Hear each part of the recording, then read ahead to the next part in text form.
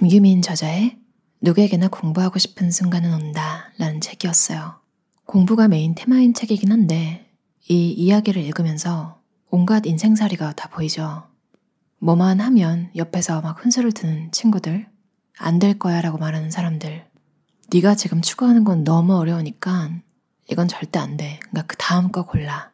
다른 책은 됐고 이 책 꼭 읽으세요. 이 책이 다 있으니까. 그러고 이제 다른 책을 읽고 있으면 어, 제가 말한 거 듣지도 않으셨네요. 아니, 내 인생인데 그 사람이 말한 거 안 들었다는 이유로 화를 내고 반감을 가지는 게 이게 무슨 일이죠? 말이 안 되는 일을 참 살다 보면 많이 겪는 것 같아요. 그 사람들 입장에서는 말이 안 되는 일이 아니겠죠?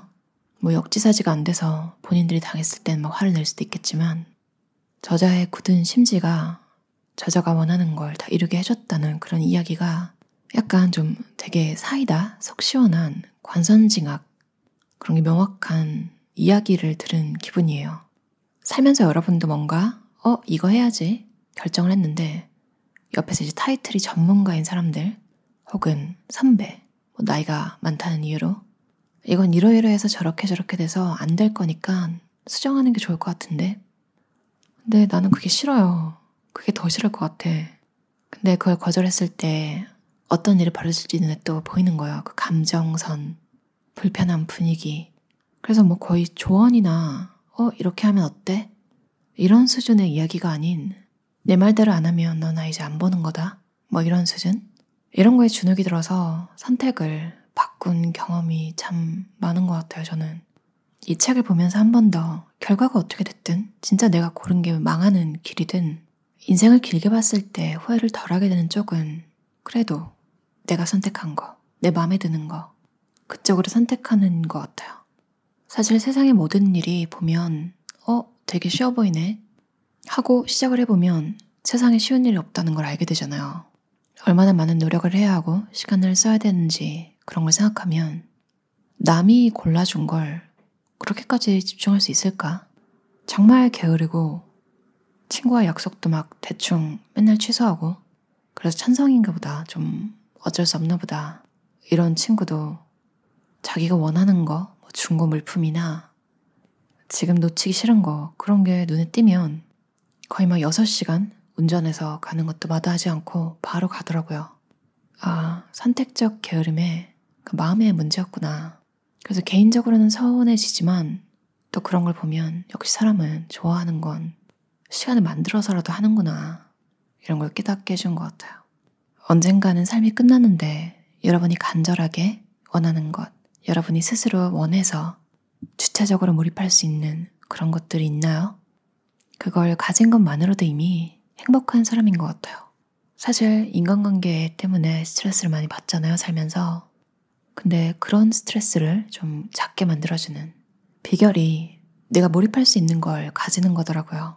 그런 의미에서 목표를 이루기 위한 공부든 여러분의 마음을 막 뛰게 하는 그런 취미생활이든 가지고 계시다면 제가 더 응원하고 싶어요. 항상 즐겁고 행복한 삶 사셨으면 좋겠어요. 그리고 여러분의 운전대를 뺏으려는 사람이 보인다면 이 책의 내용을 한 번 더 생각해 보시고 정말로 따를 만한 조언인지 아니면 그래 그 말이 맞긴 한데 난 이게 좋아 이런 생각이 드는 건지 여러분이 고르고 나서는 그렇게 혼수 뒀던 사람들이 결과에 대한 책임을 전혀 지지 않더라고요. 그런 걸 생각해서 여러분이 원하는 거 고르셨으면 좋겠어요. 들어주셔서 감사합니다. 박창국 저자의 사는 게 힘드냐고 니체가 물었다 라는 책이었어요.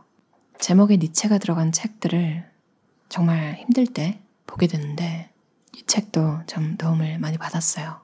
쇼펜하워 얘기, 예시 같은 거 보면서 뜨끔했는데요. 저도 막 세상을 너무 밝게 바라보고 이런 편이 아니라서 쇼펜하워 친구가 새로 산 양복을 입었을 때 새똥을 맞았잖아요.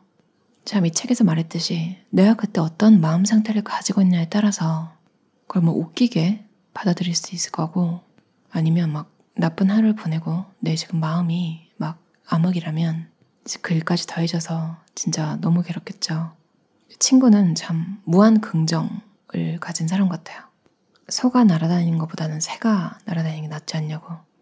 누가 이렇게 생각할 수 있을까요, 쉽게. 그래서 더 대단한 것 같아요. 전 제 머리로 이렇게 해결이 안 될 것 같은 문제, 그러니까 어떻게 해야 될지 모르는 거에 대해서 되게 걱정이 많은 편인데, 어렸을 때 무슨 음식인지 잘 기억은 안 나요. 근데 그 음식이 차에 쏟아질 수도 있는 그런 내용으로 제가 걱정하고 있었는데, 전 너무 심각한데, 삼촌이 딱 그 얘기를 듣더니, 차가 튼튼해지겠지. 어, 그 말이 너무 웃기고, 맞아요. 사실 뭐, 뭘 쏟으면 세탁하거나 하면 되잖아요. 어떻게 보면 제가 게으르고 그랬어서 그럴 수도 있는 것 같아요. 안 해본 일, 조금이라도 복잡해 보이는 일을 맞닥뜨리면 되게 스트레스를 받거든요. 참, 이 책에서 또 일깨워주는 게 예술을 통해 삶은 충만해진다. 가끔 제가 너무너무 힘들고 그럴 때 답이 안 보일 때 보면 두 가지를 안 하고 있더라고요. 음악을 안 듣고 책을 안 읽고 뭐 밥이나 뭐 집이나 이런 게 아니니까 생각하면 없어도 살 수 있을 것 같잖아요.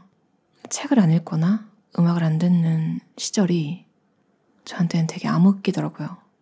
그리고 아리스토텔레스가 비극이 나쁘지 않은 게 비극의 효과는 주인공의 비극적 운명이 관중의 마음에 두려움과 연민을 불러일으키고 결말에서 이러한 감정을 한꺼번에 폭발시킴으로써 마음속에 쌓여있던 정념의 응어리를 정화시키는 것, 즉 카타르시스에 있다고 보았다. 나이가 조금씩 들면서 잔잔한 음악, 잔잔한 것들도 되게 좋아하게 됐는데 전 약간 우울하고 세고 뭐 이런 음악을 되게 좋아했거든요. 소설 같은 것도 비극을 좋아하고 어딘가 좀 우울한 그런 걸 되게 좋아했던 것 같아요. 근데 신기하게 오히려 그런 음악을 듣고 그런 소설을 읽고 그럴 때 제 성격 이런 것들이 제일 밝았어요. 어려서 좀 나쁜 일 덜 겪어서 그럴 수도 있겠고 비극적인 그런 이야기나 음악 같은 걸 들으면서 내 안에 그런 면들을 이미 위로를 받았기 때문에 치유의 효과가 있지 않았나 이런 생각이 들기도 해요. 어떻게 살아야 할지에 대한 고민은 항상 하는데 정말로 이 어린아이들이 장난감을 왜 이거 가지고 놀아야 되지? 질릴 때 그런 생각을 한다고 하잖아요. 저도 이거 읽으면서 깜짝 놀란 게 어느 순간부터 저도 인간은 왜 살지? 이런 생각을 굉장히 많이 하게 됐거든요. 근데 정말 이 책에서 말한 것처럼 인생이 재미없다고 느꼈을 때부터인 것 같아요. 뭔가 다 거기서 거기인 것 같고 별다를 게 없는 것 같고 근데 힘듦을 느껴요. 근데 이 힘듦을 계속 반복해야 되나? 좀 약간 이런 허무주의적 사고에 빠져있기도 했었는데 역시나 책은 선배님들이잖아요. 이미 그런 생각을 다 한 사람들이고 그런 시기가 지나야지 정말로 더 성숙해지는 더 인간다운 사람으로 발전할 수 있다는 얘기가 있어서 되게 위안이 됐어요. 번아웃도 슬럼프도 열심히 산 사람한테 오는 거라고 하잖아요. 약간 왜 살지? 이런 것도 어떻게 보면 이것저것 정말 해볼 만큼 많이 해봐서 그런 생각에 다다랐을 수도 있을 것 같아요. 그리고 니체가 알려주는 인간이 궁극적으로 원하는 것은 오래 연명하는 것이 아니라 짧게 살더라도 충만하게 사는 것입니다. 저한테는 이 문장이 되게 허무주의적인 생각을 좀 타파시켜주는 그런 문장이더라고요. 참 진부하지만 진리. 내가 어떻게 세상을 받아들이냐에 따라서 내 세계가 바뀐다. 인간은 욕망과 권태 사이를 오가는 시계추와 같다. 그 시계추 위에서 자기만의 방식으로 균형을 잡으면서 살아가는 게 삶인 것 같아요. 들어주셔서 감사합니다. 김정현 저자의 에릭 번의 감정 수업이라는 책이었어요. 책 표지에는 왜 인간의 감정은 수시로 요동치는가? 교류 분석의 창시자 에릭 번이 들려주는 감정의 메커니즘. 내 안의 감정을 어떻게 다스릴 것인가? 에릭 번은 심리치료의 중심 원리를 이렇게 표현하고 있습니다. 진정한 지식이란 말로만 아는 것이 아니라 어떻게 행동할지를 아는 것이다. 내적 대화라는 걸 강조했대요. 그러니까 내적 목소리에 귀를 기울이고 이제까지 익숙했던 내적 대화의 거리를 끊음으로써 인생 각본의 한계를 뛰어넘는 새로운 선택지를 주는 것. 근데 머릿속에서 떠나지 않는 목소리를 끊고 다른 목소리를 바꾸는 건 중요하지만 이게 쉽지 않잖아요. 무라카미 하루키도 이런 얘기 했던 것 같아요. 어차피 다시 돌아올 건데 내 자신을 막 억지로 바꾸려고 하는 게 부질없다고. 이 얘기도 어느 정도 공감을 해요. 에릭 번은 그게 힘들기 때문에 환상 속에서든 실제로든 심리 치료자를 가까이 두어야 한다고 했대요. 사실 여유가 되면 한 달에 한 번이라도 상담사를 만날 수 있으면 무슨 얘기가 됐든 뭐 살면서 자꾸 괴로운 일이 생기기도 하고 그러잖아요. 그런 이야기를 내가 믿고 나눌 수 있는 사람이 있다면 삶이 조금 덜 힘들 것 같아요. 제가 읽은 부분이 수능하는 아이자 항상 잘 참고 남을 먼저 배려하고 너는 어때? 라고 물어봐주고 이런 성향의 분들이잖아요. 마지막에 제가 읽었던 문장이 이제는 자신만 생각해도 됩니다. 인데, 어, 그렇게 살면 이기적인 거 아니에요? 맞아요. 보통 사람들한테는 이렇게 살라고 하면 진짜로 마음대로 살지도 몰라요. 근데 한평생을 이렇게 꾹꾹 눌러 담고 내가 참고 수능하면서 산 분들은 나를 위해서 산다고 해도 일반 사람들이 자기 거 챙기는 것보다 못 챙길 거예요. 노력을 해서 이제 나만 생각해야지 하고 해봐야 남한테 다 뺏겨있던 내 걸 되찾아오는 그 정도? 억울해하지 않아도 되는 삶. 너무 또 급하게 하실 필요도 없고 천천히 해도 괜찮고 내 생각을 분명하게 말하는 연습부터 저도 참 이걸 못하는 편인데요. 장기적으로 어떤 사람과 잘 지내고 싶을 때는 내 생각을 분명하게 말해주는 것도 관계를 잘 유지하는 비결이 되기도 하더라고요. 내가 참기만 하고 그렇게 살다 보면 점점 나중에는 그 사람을 피하고 싶어질 거잖아요. 참 살아가는 데는 일적인 스킬도 필요하지만 여러모로 뭔가 알아가야 하는 게 참 많은 것 같아요. 참 배워야 할 게 많은 세상. 내가 힘들 때 시간이나 여유가 안 돼서 상담사를 만날 수가 없을 때는 이렇게 책이 항상 나를 위로해주는 것 같아요. 여러분 자신만 생각하는 연습 다들 해보셨으면 좋겠어요. 들어주셔서 감사합니다. 유튜버 드로우 앤드류 저자의 Lucky Draw라는 책이었어요. 책 표지에 남을 위해 죽도록 일하는 대신 지금부터는 나를 위해 죽도록 일하기로 했다. 참 네임밸류가 있는 회사에서 일해보신 분들은 아실 거예요. 혹은 딱히 그렇지 않더라도 그냥 회사라는 게 퇴사를 하고 나면 갑자기 그 명함, 그 직함 이런 게 다 사라지잖아요. 좀 상관없어 보이는 속담이긴 한데 정승집 개 죽은 데는 문상을 가도 정승이 죽은 데는 문상을 안 간다. 잘 보일 필요가 없다고 생각하는 거죠. 그 명함도 좀 그런 것 같아요. 상사분이 퇴직하기 전에 그 자녀를 자꾸 결혼시키려고 하잖아요. 그게 퇴직하면 안 오니까. 참 슬프지만 그 명함을 떼고 나라는 인간으로 설명할 수 있을까? 점점 이런 생각을 더 자주, 더 깊이 해야 되는 시대가 오는 것 같아요. 뭐 아직도, 어, 박사님이시라고요? 어, 어디 회사 누구누구시라고요? 이런 직함에 휩쓸려서, 어, 대단하신 분입니다. 아직도 이런 분들이 있긴 하지만 사실 제일 중요한 건 그렇군요. 그래서 무슨 논문을 썼고 어떤 프로젝트를 이끄셨나요? 참 큰 회사일수록 일당백이 아니라 약간 좀 부품처럼 일하게 되잖아요. 그래서 맨날 똑같은 일 하고 특히 사원급에서는 더 그렇죠. 그러니까 어느 회사 다닌다고 말할 때는 탁 자신있게 말하는데 그 업무를 설명하려니 너무 구질한 이런 경우도 있고 주위에 이제 상사분들을 보면 아 내가 10년 20년 다니면 내 미래겠지 그런 삶이 나쁜 건 아니지만 그런 삶에 대해서 좀 회의가 느껴지고 이렇게 살고 싶지 않다 이런 생각이 드시는 분들은 정말 술술 읽히실 거예요. 좋아하는 일로 경제적, 시간적, 정신적 자유를 얻은 상위 1% 밀레니얼 프리워커의 성장기. 누구에게나 도움이 되는 책이라고 생각이 드는 게 이런 시점이 사실 어느 순간에 누구에게나 한 번쯤은 인생에서 다가오는 것 같아요. 그럴 때 나 혼자만 그런 생각을 하는 게 아니라 이런 선배들이 어떻게 다 헤쳐나갔는지 그런 이야기들을 보면서 용기를 낼 수도 있고 혹은 아, 이렇게 자유롭게 멋있게 산다는 게 굉장히 힘든 일이구나. 이런 생각을 하면서 지금 다니는 회사에 더 만족하는 계기가 될 수도 있을 것 같아요.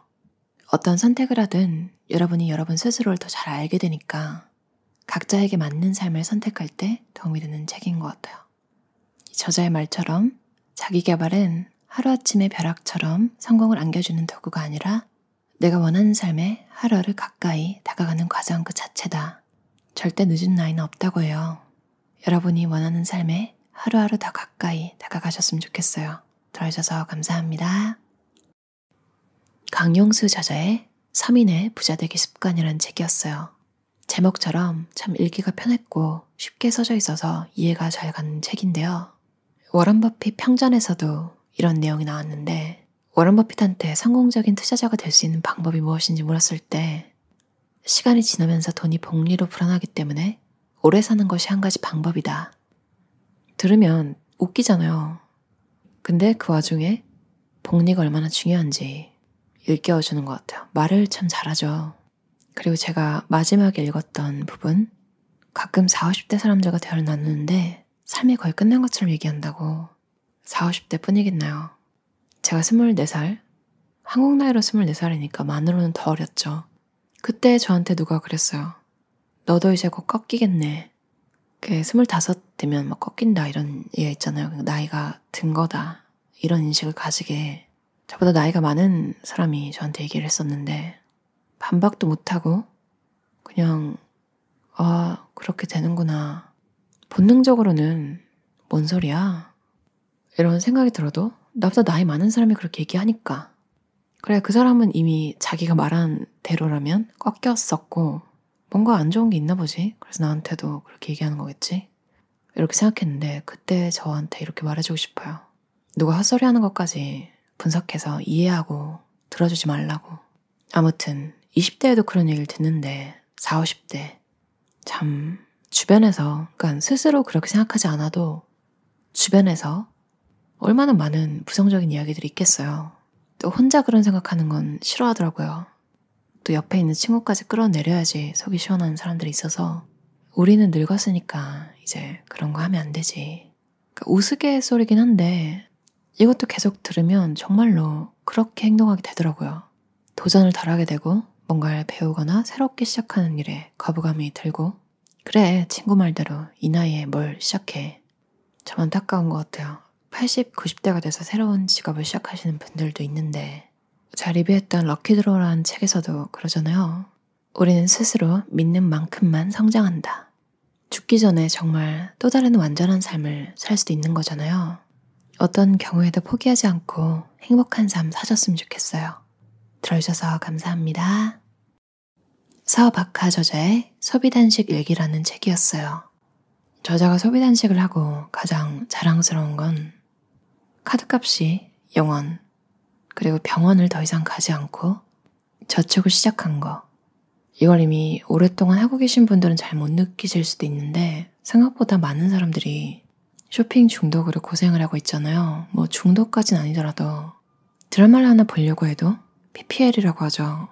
뭔가 자꾸 구매를 유도하는 그런 것들이 도처에 널려있기 때문에 사실 정신을 바짝 차리지 않으면 생각지도 못했던 물건을 내가 필요하다고 인식하고 어느새 검색창에 이제 그 물건을 검색해보고 있는 그런 경우도 많은 것 같아요. 그런 게 뭐 생필품인 경우, 그러니까 지금 걸 다 쓰고 다음번에는 어, 그래, 그거 좋아 보이니까 그걸로 한번 바꿔보자. 뭐 이 정도는 재미를 더해주는 삶에 좀 활력을 줄 수 있는 새로운 도전 이 정도로 받아들여질 수 있는데 사실 물건 정리할 때 제일 애먹는 게 그냥 쓰면 없어지는 것들이 아닌 고가의 물건들, 가구나 옷 지금 당장 필요가 없는데도 비싸게 주고 샀다는 것 때문에 정리하기가 참 힘들잖아요. 특히 그런 물건들은 충동적으로 산 경우도 있고 이 책의 작가님도 사람들의 시선을 많이 신경 쓰신대요. 또 그런 성격이니까 사람을 만나게 될 때 돈을 또 쓰게 될 거잖아요. 이게 뭐 환경이 그런 거 아니야? 이럴 수도 있는데 이분의 친구들이 편하게 입는 스타일이고 이 저자의 있는 모습 그대로 인정해주는 성격인데도 예전에는 스스로 이제 신경이 쓰이니까 항상 옷을 새로 사서 입고 나가셨대요. 근데 소비 단식을 하고 이제는 약속에 옷을 사지 말고 있는 모습 그대로 나가리라 결심하고 진짜로 그렇게 하셨대요. 당연히 뭐 아무 일은 일어나지 않았고 즐겁게 시간을 보내셨다고 해요. 저도 작은 일에 남이 아무리 괜찮다고 해줘도 내가 안 괜찮으면 신경을 많이 쓰는 스타일이라서 이런 에피소드들이 너무 공감이 가더라고요. 이런 문장이 있는데 별거 아닌 일 같아도 나에게는 늘 치열한 전투 같다. 언젠가 이 모든 것들이 좀 더 자연스러워지길 바란다. 한 사람의 소비 단식을 통한 자기 치유의 과정 이런 걸 지켜보는 느낌이었어요. 응원하게 되고 가끔 아이가 있다는 건 어떤 느낌일까 어떤 삶일까 이런 생각을 저는 하는데 그런 부분도 잘 나와 있어서 아 이런 감정을 느낄 수 있구나 이런 마음을 가지면서 읽었어요. 책 표지도 귀여워서 종이책 사는 게 가능하신 분들은 가방에 넣고 이제 뭔가 사고 싶을 때그 책을 보면 정신이 차려지는 효과가 있을 수도 있겠죠. 냉장고 파먹기, 뭐 예산 안에서 살기 이런 게 어떻게 보면 빡빡하게 볼 수도 있는데 또 사실 해보면 되게 게임 퀘스트 같이 어 이번 주 버텼다 이런 재미가 있기도 하거든요. 뭔가 요즘 삶이 좀 무거운 것 같다 싶으시면 소비 단식을 한번 해보는 건 어떨까요? 들어주셔서 감사합니다. 여자의 모든 인생은 20대에 결정된다. 아마 한 번쯤 들어보셨을 거예요. 읽어보신 분도 많을 거고요. 그 책을 쓰신 남인숙 저자의 내 방식대로 삽니다. 라는 책이었어요. 제가 전에 리뷰했던 송기령 저자의 책, 그냥 하지 말라. 그 책도 두 가지 의미를 읽히잖아요. 그냥 하지 마. 뭐 이런 느낌이 될 수도 있고, 그냥 하지 말라고. 제대로 하자. 뭐 이런 게 될 수도 있고, 남인숙 저자의 책 제목도 내 방식대로 삽니다의 삽니다가 물건을 산다는 의미가 될 수도 있겠고, 살아간다는 의미의 삽니다로 읽히기도 하는 것 같아요. 제가 10대 때 동네 서점에 친구들이랑 갔다가 여자의 모든 인생은 20대에 결정된다 라는 책을 봤는데 친구들이랑 이야기를 막 했던 기억이 나요. 그리고 그때 읽고 정말 20대가 돼서 사회생활을 했을 때 이 책이 갑자기 생각이 나는 거예요.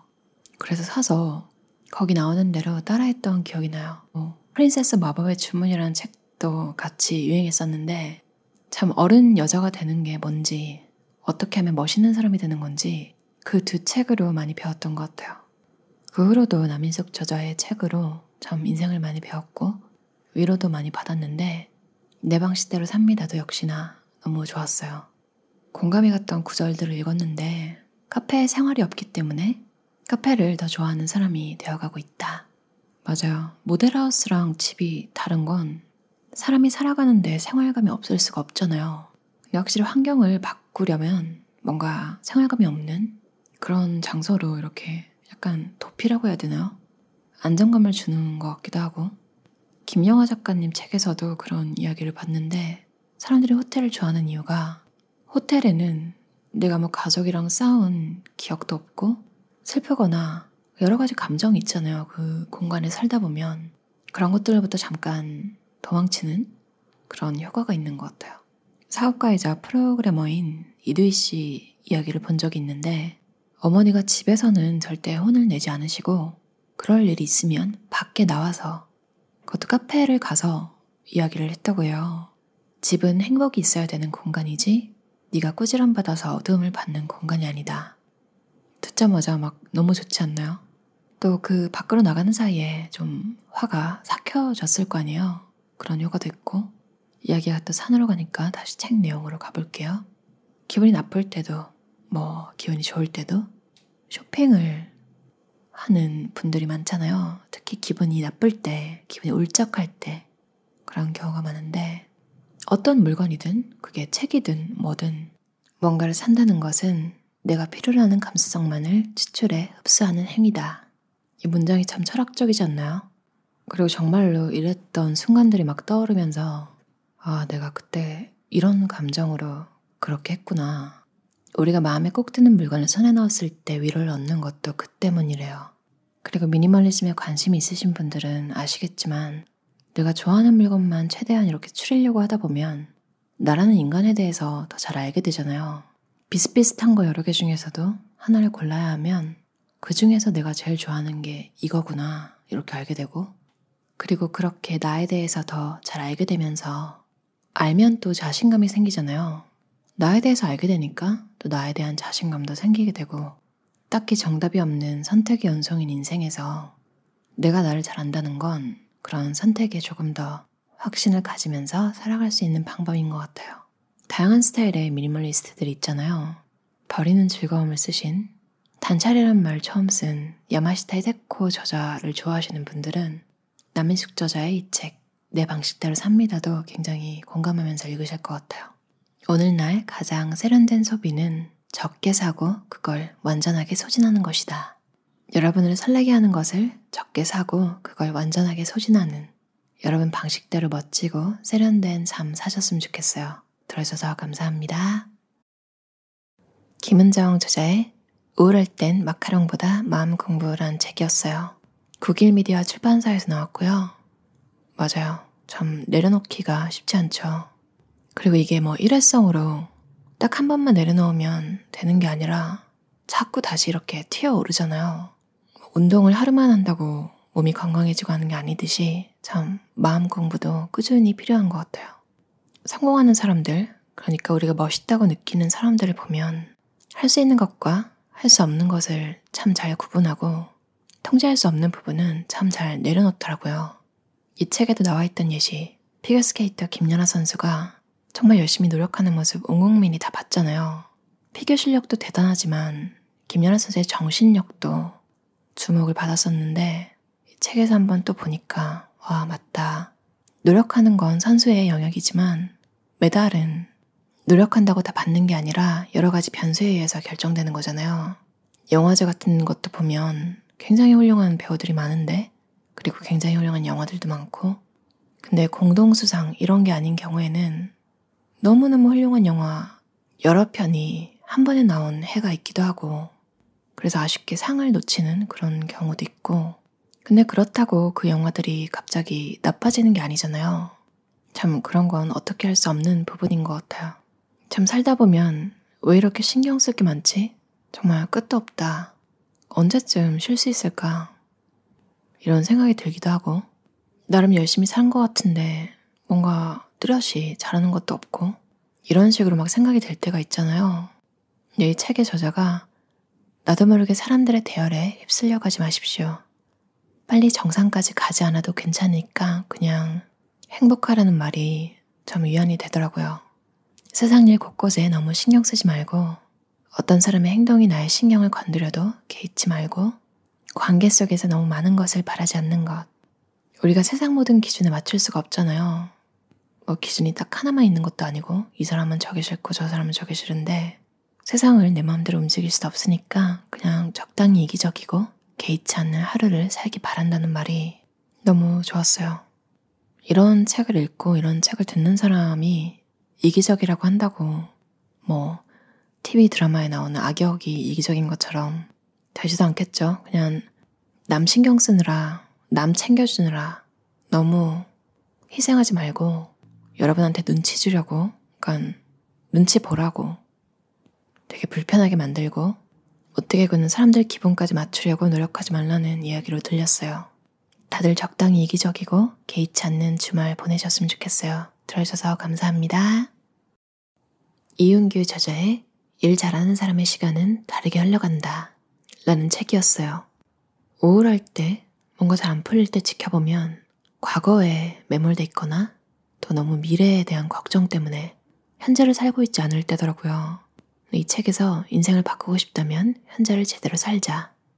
인생에는 현재만 존재한다는 생각으로 살고 계시다는 말이 되게 인상 깊었어요. 그리고 완전한 자유는 완벽한 계획으로부터 나오며 계획을 세울 때는 반드시 미래의 달성을 목표를 구체적으로 세운 후에 현재로 거슬러 올라와 지금 해야 할 것을 생각해야 한다. 제프 베조스의 아마존에서도 working backwards라는 method를 사용해서 일을 하는데 개발할 제품에 기사를 이제 가짜로 써보는 거죠. 그리고 이 기사를 읽었을 때 어떤 질문이 나올 것인지 자주 묻는 질문, FAQ를 또 작성하는 거죠. 그런 식으로 프로젝트를 발전시켜 나가는 업무 프로세스인데 이 책의 작가인 이윤규 변호사님도 이런 패턴으로 계획을 세우시는구나. 저도 생각해보니까 구체적인 꿈이 없는 거예요.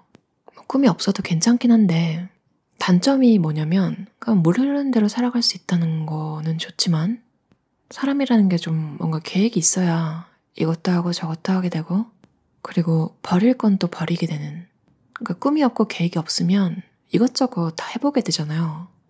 좋다 나쁘다 할 수 없지만 이거 성격의 문제인 것 같기도 해요. 그런 게 괜찮으신 분들은 인생을 다양하게 더 폭넓게 살 수 있을 것 같기도 하고 성취감, 그러니까 뭔가를 만들어냈다는 성취감이 중요하신 분들은 구체적인 목표를 세우고 이제 그거에 따라서 이제 삶을 좀 맞춰가는 게 훨씬 빠르게 성취감을 느낄 수 있는 방법이겠죠. 80세까지 산다면 4160주. 인생은 그 4160주를 어떻게 계획하고 살아가느냐. 인생이 막 뭔가 엄청나게 복잡하고 길 것 같지만 사실은 그냥 4160주 정도의 시간의 합에 불과하다. 이게 되게 약간 허무한 느낌이 들 수도 있지만 어떻게 보면 명쾌해서 너무 좋았어요. 인생을 어떻게 살아야 될지 모르고 막 너무 복잡하게 생각이 되고 그럴 때, 아, 그냥 나에게 주어진 4160주를 이걸 이제 뭐 방이라고 생각하면 데코레이션을 하는 거죠. 자기 스타일대로. 4160주를 그 어떻게 내 식대로 살아갈 건지. 그게 인생이구나. 라는 생각이 들었어요. 여러분에게 주어진 시간을 잘 관리해서, 아, 오늘 하루도 완전하게 잘 살았다. 이런 기분 자주 느끼셨으면 좋겠어요. 들어주셔서 감사합니다. 공영조 저자의 돈을 부르는 작은 습관이라는 책이었어요. 맞아요. 뭔가 특가 상품 가판대나 뭐 그런 곳을 거길 가야지 하고 가기보다는 길 가다가 백화점이나 뭐 쇼핑센터가 보이면 왠지 그냥 한번 들어가야겠다. 혹은 그 쇼핑센터 안에 있는 뭔가 특정한 물건을 사야 되는 시기에 거기 갔다가 이제 옆에 뭐가 있으니까 그냥 구경이나 할까? 아무리 예뻐도 난 그 봐도 안 사. 나는 자제력이 뛰어난 사람이야. 뭐 이렇게 다짐을 하고 딱 지나가는데 앞에서 봐도 뒤에서 봐도 그 물건이 완전 내 맞춤인 거예요. 특히 이미 집에서 물건을 다 골라내고 나한테 맞는 스타일이 뭔지 잘 알고 있는 상태. 이때 그런 물건을 보면 집도 비워져 있겠다. 물건 다 골라내고 내 취향도 이제 확실히 알았어요. 그때 눈에 띈 물건을 안 사기 힘들겠죠. 특히나 특가 상품으로 나왔다면. 진짜 제일 쉬운 건 그냥 절대 그 근처로 안 가는 게 최고인 것 같아요. 안 보면 안 사니까. 이 문장이 사실 되게 간단한데, 와, 이렇구나, 정말. 어떤 물건을 봤을 때 그걸 사고 나서의 어떤 상태나 만족감, 그런 게 막 상상이 되잖아요. 그걸 가지고 있는 상태랑 내 상태랑 지금 비교가 되니까 그 갭을 메우려면 그 물건이 있어야 되는 거죠. 심지어 내 스타일이 아닌 물건도 막 주변에서 자꾸 언급하고 자꾸 눈에 띄면 관심이 가게 마련인데 에펠탑 효과라는 말도 있잖아요. 관심은 커녕 심지어 싫은 마음도 있었는데 그냥 자꾸 보게 되니까 어느 순간 괜찮아 보이는 그런 효과로 물건을 사지 않으려면 안 보는 게 최고다. 그리고 이 말도 참 좋았던 것 같아요. 이 책에서 버스가 지나갔다고 아쉬워하지 마라. 다음 버스는 반드시 온다. 이거 보통 사람에 많이 비유해서 쓰잖아요. 정말 세상 모든 일이 이런 것 같아요.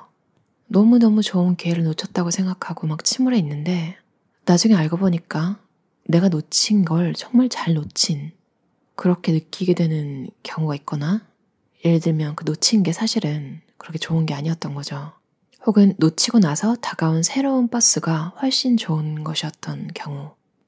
그리고 또 이게 완전히 운만은 아닌 게 내가 물건을 보는 눈도 높아지잖아요. 그렇게 됨으로써 또 과거에 떠나보낸 내가 사지 못했던 그런 물건들을 다시 봤을 때, 어, 내가 저런 걸 사려고 했단 말이야? 아, 진짜 돈 잘 아꼈다. 이런 마음이 들기도 하는 것 같아요. 마지막 기회라는 말에 혹하지 말자.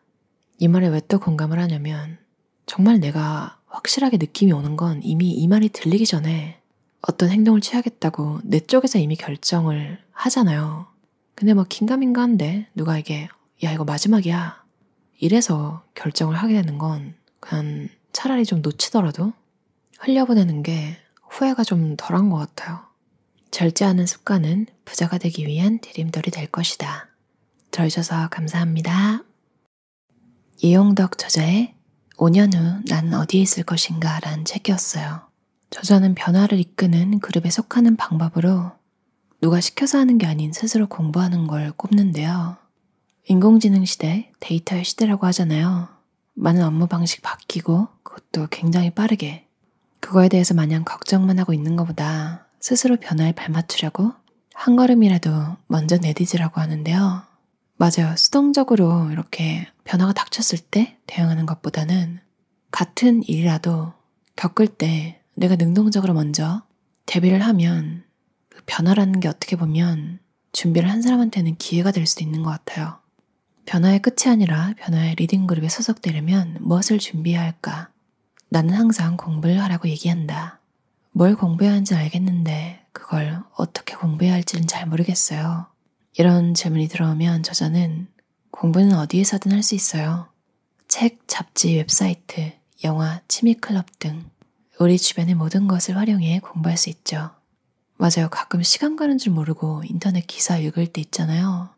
그 마냥 웃기거나 막 가십거리라서 몰입해서 보는 게 아니라 만약 누가 공부하라고 시켰으면 보기 싫었을 정도의 전문성이 있는 기사? 그런 것도 내가 필요하고 내가 관심 있을 때 읽으면 머리에 너무 잘 들어오고 내가 공부하는 줄도 모르게 공부를 하고 있는 거잖아요.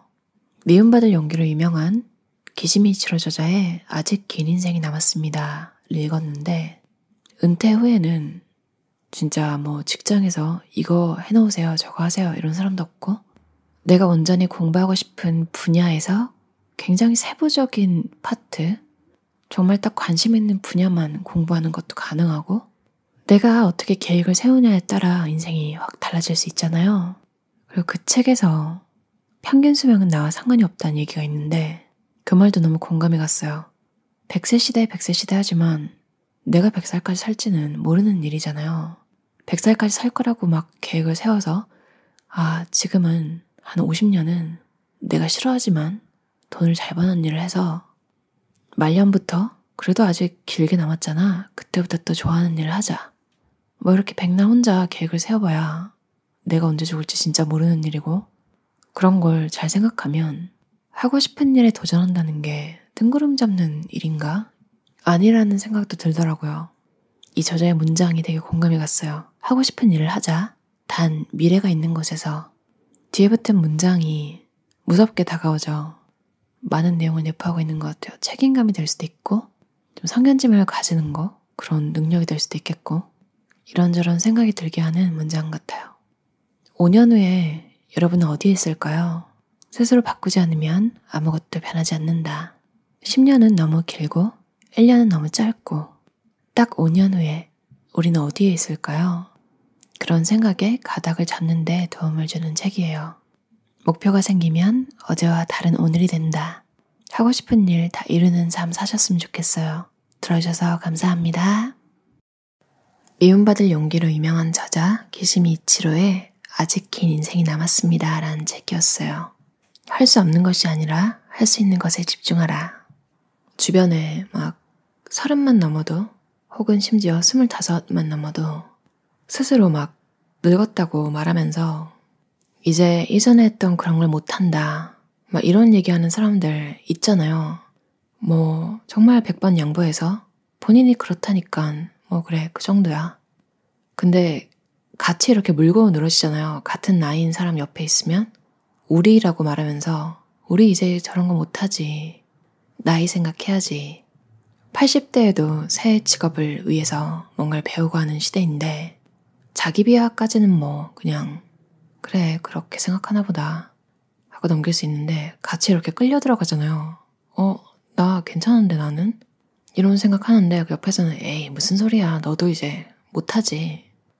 그리고 나이라는 게 사람마다 다르잖아요. 뭐 몇 살 몇 살이 된다고 똑같은 증상이 나타나거나 그런 것도 아니고 나이 들어 도전을 기피하는 사람은 젊은 시절에도 마찬가지였을 것이다. 이 말이 되게 뜨끔했어요. 사실 앞에 제가 얘기한 것처럼 입 밖으로 내진 않더라도 혼자서 그런 생각을 할 때가 있잖아요. 막 감기가 안 낫는다든지 뭔가 좀 면역력이 떨어졌을 때 아프거나 하면 그런 의심이 들기도 하고 근데 또 막상 운동을 하고 면역력을 잘 챙겨주려고 노력하고 그런 건강한 생활을 할 때는 어, 예전에 나이 때문이 아니라 생활 습관 때문에 그랬구나. 이런 깨달음을 얻기도 하고. 이 책을 읽고 나서 참 좋았던 게 꼰대라는 단어가 하나도 안 나오거든요. 이 책에서 하지 말라는 것만 안 해도 어디 가서 꼰대라는 소리는 절대로 듣지 않겠구나. 가끔 모든 게 괜찮고 사람들이 원래 그렇게 생각하니까 그건 어쩔 수 없다. 그게 나쁜 거라도 그냥 원래 그러니까 이해해라. 이런 느낌의 책도 가끔은 위안이 되긴 하지만 사실 어딘가 좀 찜찜하잖아요. 어, 이건 진짜 아닌 것 같은데. 그렇게 살면 안 되는 거 아닌가? 이 책에는 그런 게 없어서 좋았어요. 아, 역시 그게 안 좋은 거구나. 맞아, 그게 정말 안 좋은 거야. 절대 하지 말고 상대방한테도 내가 우스갯소리로 한 거니까 이해해달라는 느낌의 그런 분위기를 내면 안 되겠다. 농담으로라도 그런 말은 하지 말아야지. 그리고 요즘 갓생이라는 말이 많이 보여서 뭔지 찾아보니까 열심히 사는 거래요. 뭘 얼마나 열심히 살아야 되지? 부지런하고 타의 모범이 되는 삶. 진짜 모범까지 돼야 된다고요? 물론 그렇게 살면 좋겠지만 누구나 그렇게 살 수 있는 게 아니니까 갓생이라는 이름으로 불리기까지 하겠죠. 뭐 그렇게 사는 사람들, 그걸 좋아하는 사람들 다 상관없는데 주변 사람들 보고 갓생 안 산다고 뭐라고 하는 사람은 좀 이상한 것 같다는 생각을 했어요. 소크라테스는 중요한 건 그냥 사는 게 아니라 선하게 사는 것이다 라고 말했다. 오늘날에는 뭔가를 막 생산하고 성취하는 게 선하게 사는 거라고 여겨지는데 갓생도 이건 어떻게 보면 하나의 견해에 불과하다는 거죠. 사람은 태어난 것 자체로 이미 할 일을 다 했다는 얘기도 있잖아요. 여기서도 또 밸런스를 맞추는 게 중요할 것 같은데 태어난 것만으로도 이미 여러분은 할 일을 다 했고 근데 그렇다고 정말 숨만 쉬면서 살수 있는 것도 아니고 그렇다고 갓생을 무조건 다 살아야 되는 것도 아니고 그 중간 어느 지점에서 내가 제일 편안한 하필 또 지금 읽고 있는 책이 당신이 편안했으면 좋겠습니다 라는 아늑함, 코지니스에 대한 책인데 결론은 그 어느 지점에서 여러분이 제일 마음이 편하고 행복한 그런 지점에서 살면서 조금씩 여유가 되면 이제 타인을 위해서 그 범위를 확장시키는 거죠. 내가 스트레스 받지 않는 선에서 타인의 평가는 여러분의 가치와 아무런 상관이 없다. 이 문장이 참 위로가 되더라고요. 연연하지 않는 삶. 참 멋있잖아요. 인간관계도 일도 조급해 할 필요가 없다고. 처음부터 좋은 결과를 낼 수는 없는 거라고. 참 위로가 되는 문장들이 많은 책 같아요. 아들러의 말처럼 자신에게 가치가 있다고 느낄 때만 용기를 낼수 있다. 여러분이 가치 있다고 믿으시고 원하는 일 용기 내서 다 이루셨으면 좋겠어요. 들어주셔서 감사합니다. 매슈 커츠 저자의 맥락 지능이라는 책이었어요. 뭔가 읽으면서 조곤조곤 팩트 폭력을 당하는 그런 기분? 그러면서 아, 이걸 고치고 싶다. 이 방법을 알고 싶다. 더 나은 사람이 되고 싶다. 이런 생각을 자꾸 들게 하는 책이더라고요.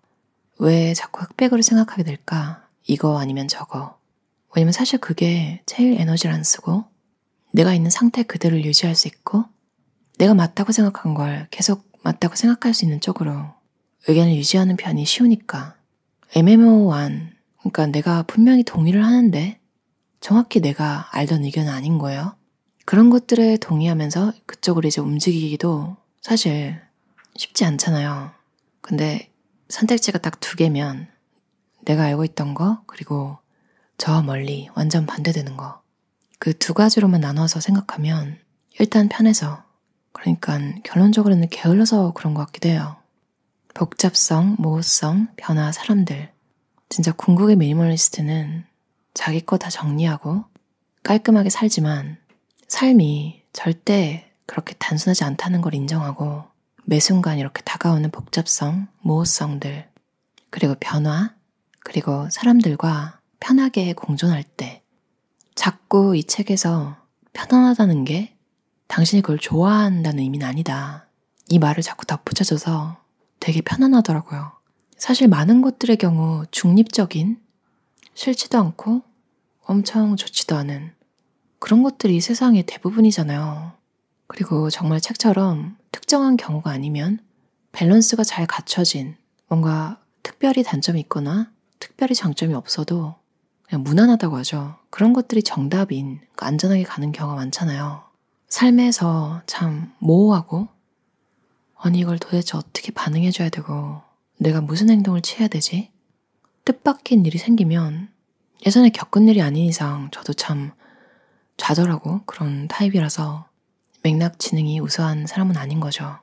그 모호하고 복잡한 일이 일어나고 있는 걸 감지하는 건 뭐 거의 누구나 하는 거지만 멋있다고 느껴지는 사람들 보면 야, 지금 이거 무슨 일이 일어나고 있는 거야? 막 그런 사건을 막 말하는 사람보다는 이미 그건 다 파악했고 해결책부터 얘기하는 사람. 그러니까 특히 누군가 잘못을 했을 때 잘잘못 따지자 막 그런 판을 벌이는 사람보다는 먼저 해결할 것부터 해결하고 잘잘못은 나중에 따지던지 하고 그러니까 리더십을 그렇게 발휘하는 사람을 보면 뭐 너는 리더고 나는 따르는 거야 뭐 이런 롤을 딱히 나누지 않아도 스스로 리더가 되는 것 같아요. 저도 어떤 상황에서든 수동적이지 않고 주체적으로 뭔가를 좀 진행해 나가는 복잡성, 모호성, 변화, 사람들과 편안히 공존할 수 있는 맥락 지능이 뛰어난 사람이 되고 싶어요. 여러분들 맥락 지능을 높이는 훈련을 해서 여러분에게 다가오는 기회와 좋은 일들을 놓치지 않는 행복한 삶 사셨으면 좋겠어요. 들어주셔서 감사합니다. 이사벨 글리스 저자의 당신이 편안했으면 좋겠습니다. 라는 책이었어요. 원서 제목은 코지 The Art of Arranging Yourself in the World인데요. 세상에서 자신을 정리하는 기술, 뭐 그 정도로 읽으면 되겠죠? 너무 넓고 산만하고 정리가 되지 않은 곳에 있을 때 불안해지기 쉽잖아요. 코지가 아늑하다는 뜻인데, 좋은 뜻인데, 약간 좀 좁은 공간? 작은 집? 그런 걸 좋게 표현할 때 코지라고도 하더라고요. 뭐 작다고 나쁜 게 아니니까 이제 여러 가지 의미로 해석될 수 있겠죠. 저자가 저자 이야기를 할 때 힘든 얘기를 털어놓으니까 사람들이 어머 어떻게 그걸 다 버텨내셨나요? 이런 질문에 와 참 답변이 멋있는 것 같아요.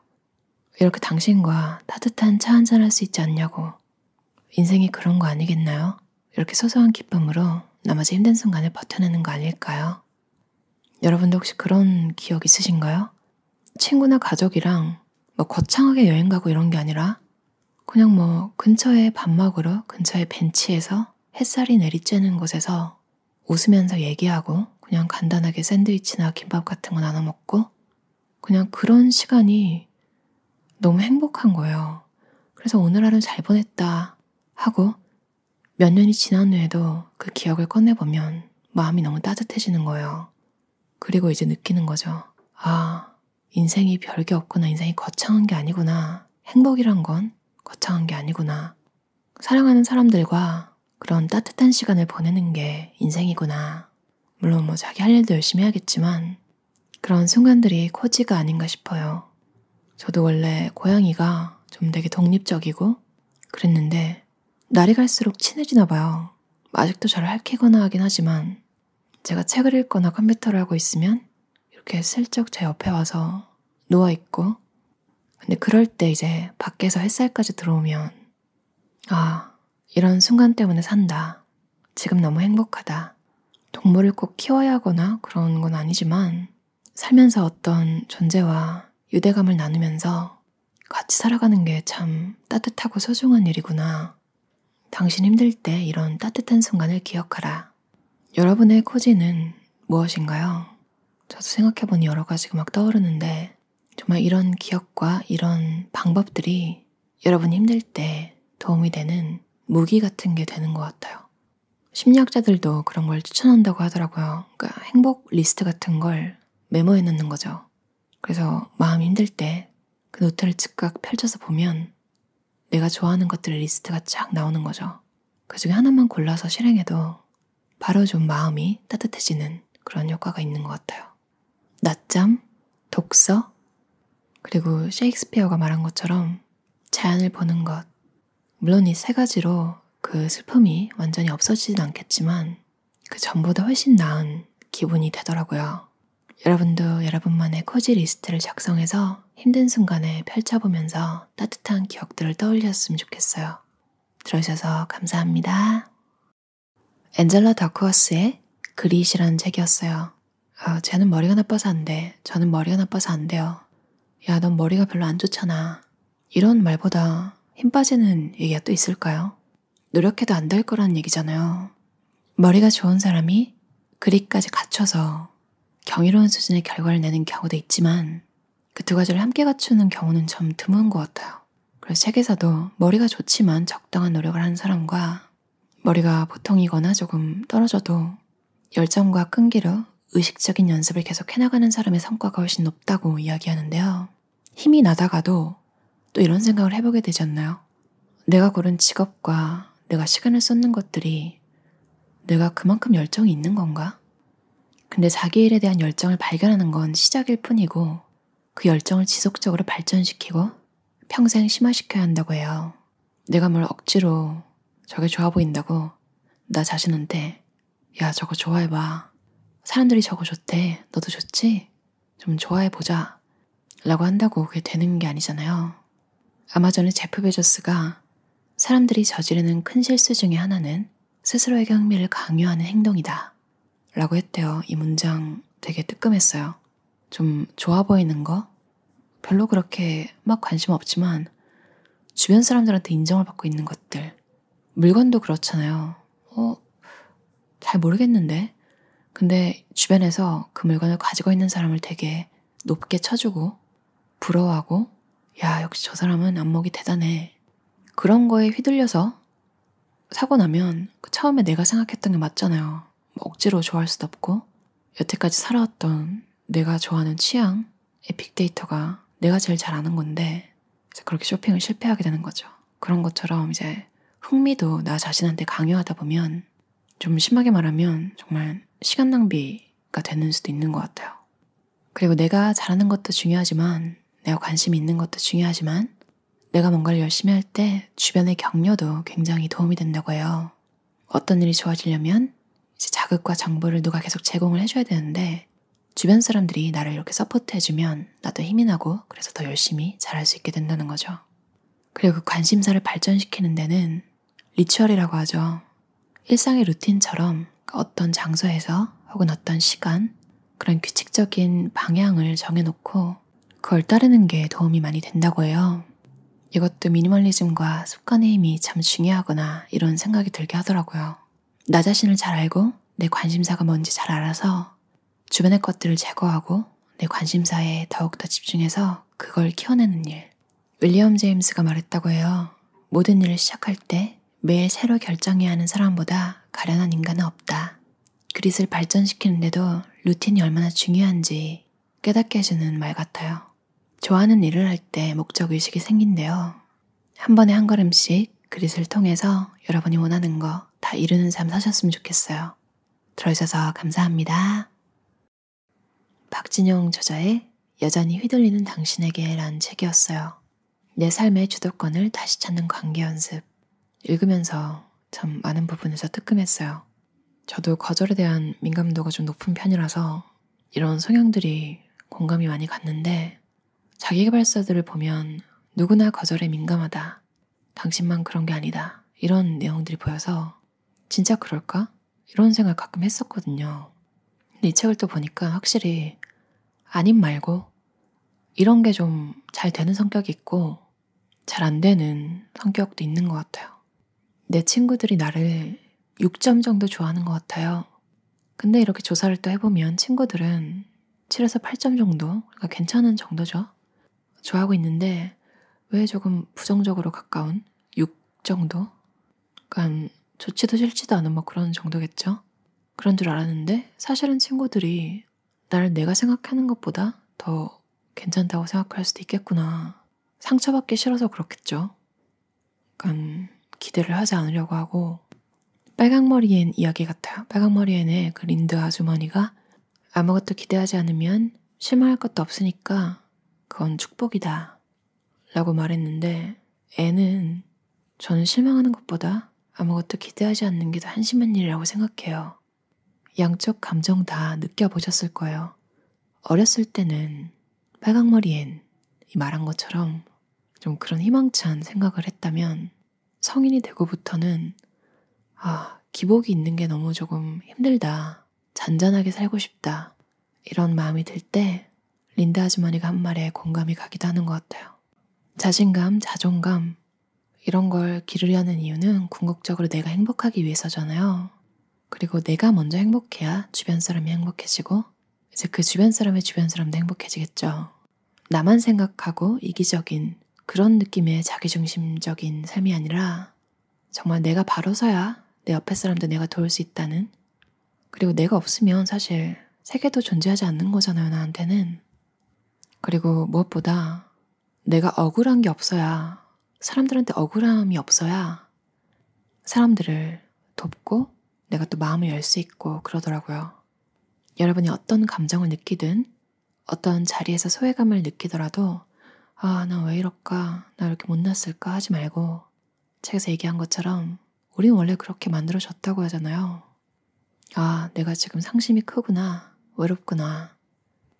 나라도 내 마음을 이해해주는 그리고 이런 기억을 통해서 누군가 소외감을 느끼고 있는 게 보일 때 작은 따뜻함, 그 사람에게 거절당할지라도 일단 내가 관심을 먼저 가져주는 그런 용기가 날 수 있을 것 같아요. 들어주셔서 감사합니다. 루크 버기스 저자의 너 자신의 이유로 살라 라는 책이었어요. 원서 제목은 Wanting, The Power of Mimetic Desire in Everyday Life인데요. 원하는 것, 일상생활에서 모방 욕망의 힘, 이 정도로 해석할 수 있겠죠. Originals를 쓴 애덤 그랜트 교수의 후기는 루크 버기스는 우리의 목표 중 상당 부분이 다른 사람들이 원하는 것을 반영한 데에 불과하다는 놀라운 주장을 펼친다. 그의 논리는 당신의 마음을 단번에 사로잡을 것이며 몇 달 혹은 몇 년 후에 당신의 동기를 다시 생각하게 만들 것이다. 하버드대 케네디 스쿨 교수 아서 브룩스는 행복의 비결은 우리가 가진 것과 원하는 것 사이의 균형을 이루는 법을 배우는 데 있다. 루크 버기스는 어떻게 욕망을 이해하고 관리할 수 있는지를 완벽하게 보여준다. 자크라캉이한 굉장히 유명한 말이죠. 우리는 타자의 욕망을 욕망한다. 어렸을 때부터 뭐가 되고 싶다. 단지 그렇게 오래 생각했다는 것만으로 진짜 내가 생각한 게 맞나? 다시 돌이켜보면 주변에 내가 좋아하는 사람들, 친구들 혹은 뭐 어른들, 그런 사람들이 그 직업을 굉장히 좋게 이야기하거나 부러워하거나 했을 가능성도 높고, 심지어 어렸을 때 아이돌들을 좋아할 때 뭔가 좀 나보다 언니이거나 뭔가 좀 아는 것 같은 사람들이 좋아하는 멤버를 좋아하게 되기도 했던 것 같아요. 참, 그리고 신기하죠. 우리는 쉽게 소유할 수 있거나 얻을 수 있는 것들을 원하지 않는다. 예전에 되게 유명한 이야기 있었던 것 같아요. 어떤 보석이 안 팔려서 가격을 올렸더니 갑자기 막 불티나게 팔렸다는 그런 이야기였는데 이 이야기도 되게 흥미로웠어요. 책에서 잡스가 스티브 잡스죠. 매력적이었던 이유는 그가 남다르길 원했기 때문이다.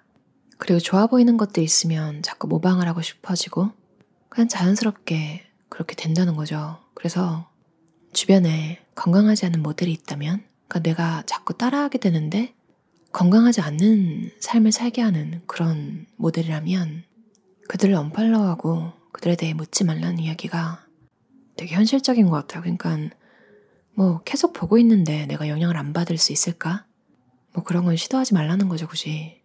그리고 제가 마지막으로 읽었던 침묵을 위한 특별한 장소를 찾고 3일 정도 침묵 수련의 시간을 갖도록 하라는 이야기가 너무 좋았고 기회가 되면 템플 스테이라는 걸 해보고 싶다 이런 생각이 들었어요.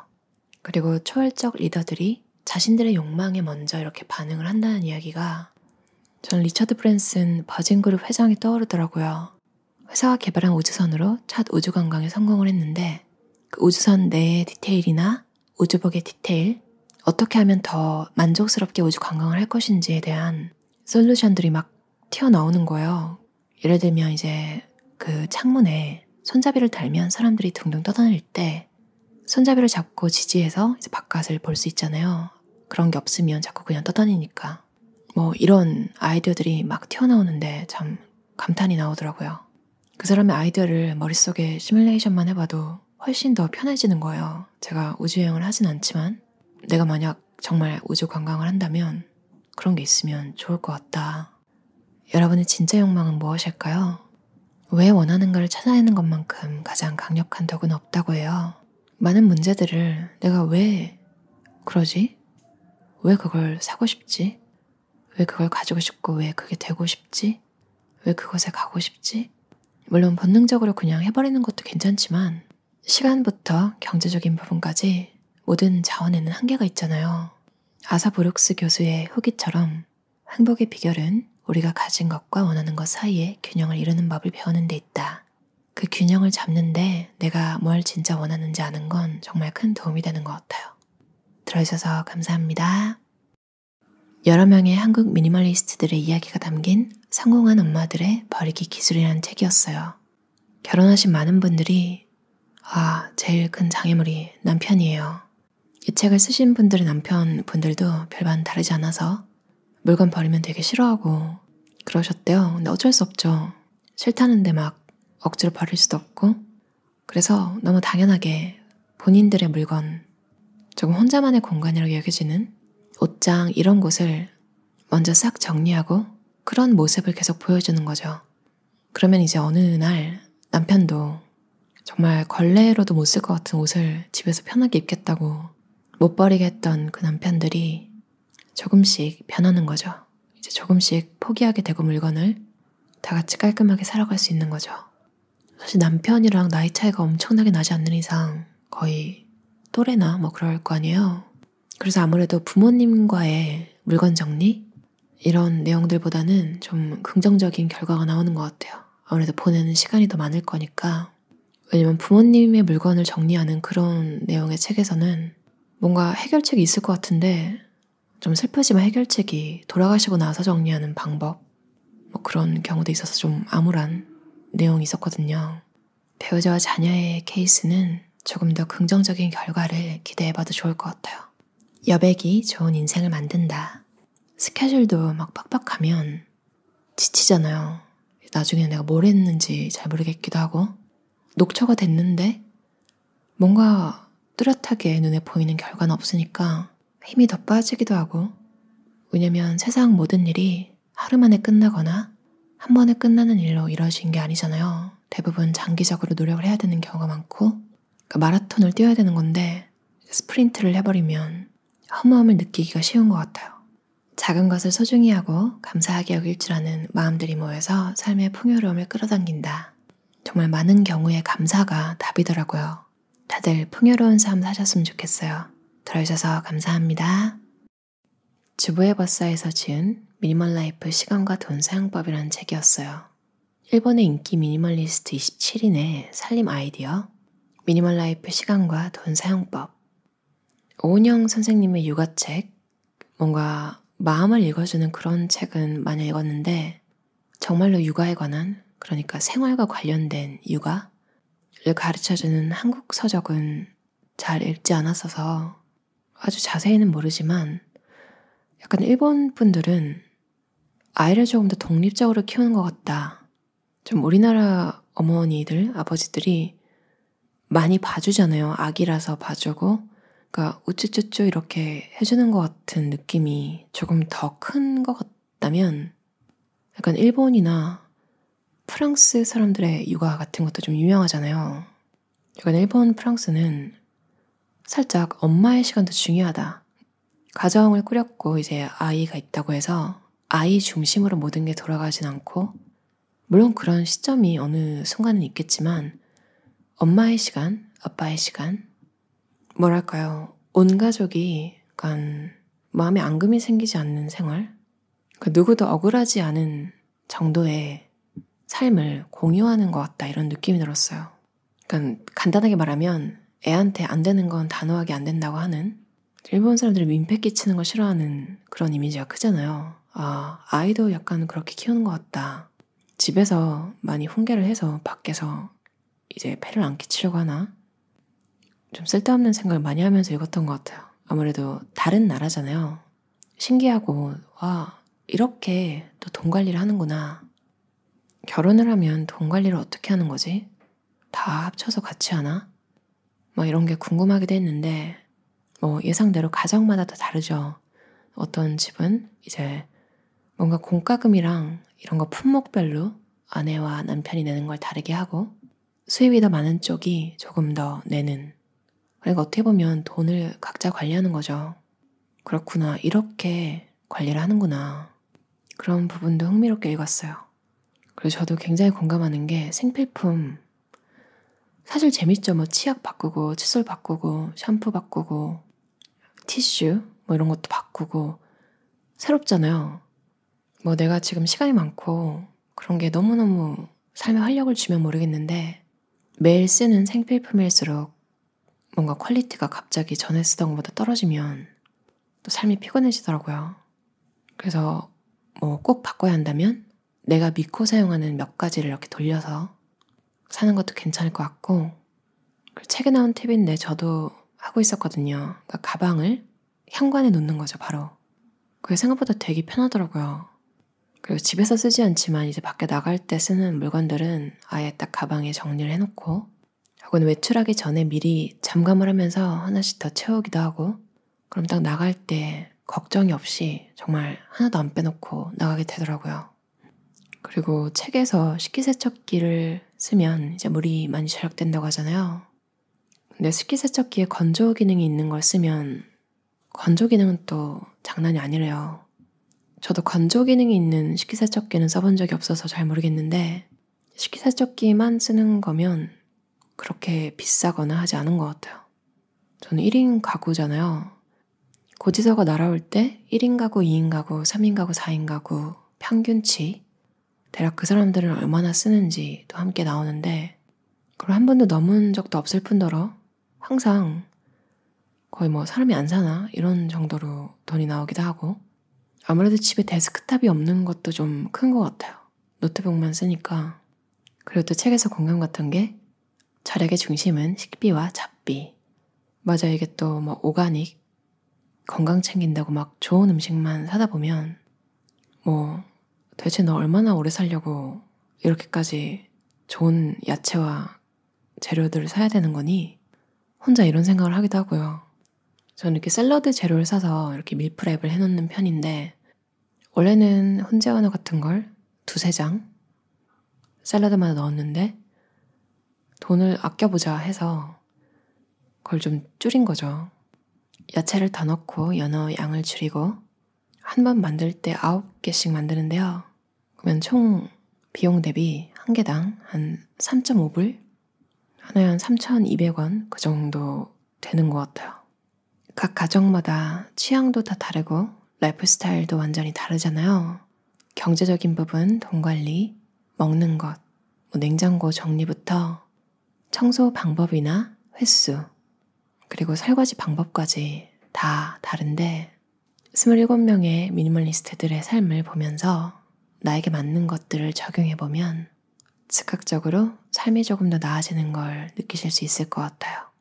들어주셔서 감사합니다. 코치 알버트님, 유대원님, 김진겸님. 세 분 다 코치라고 불리는 분들이 쓴 책인데요. 잘 되는 사람은 무엇이 다른가? 김진겸님, 그러니까 겸 코치님은 지방대를 탈락할 정도의 수능 실패 후에 8개월 만에 서울대를 합격하셨대요. 되게 어렸을 때일 거잖아요. 근데 뭔가 내적인 동기부여가 돼서 8개월 동안 얼마나 노력을 하셨는지 상상만 해도 참 대단하다 이런 생각이 들었어요. 이 저자가 첫 대학에 붙었을 때그 담임 선생님이 전화로 그 정도면 잘 갔네. 이 정도? 그러니까 좀 뭔가 썩 기분 좋지 않은 뭐 그 선생님이 보기엔 그랬을 수 있지만 이 저자분은 정말 가슴에 빗으로 꽂힌 거예요. 그 말이.